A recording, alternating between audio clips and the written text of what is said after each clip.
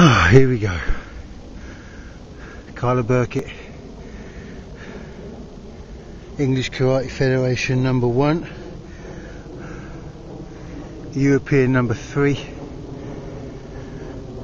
world number 13.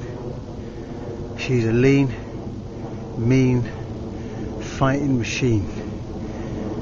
Every step, every pull, every punch. She lives in the moment. She is the bionic woman.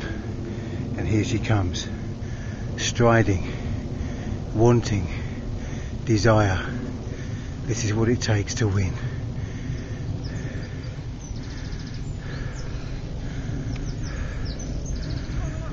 Forty-eight seconds.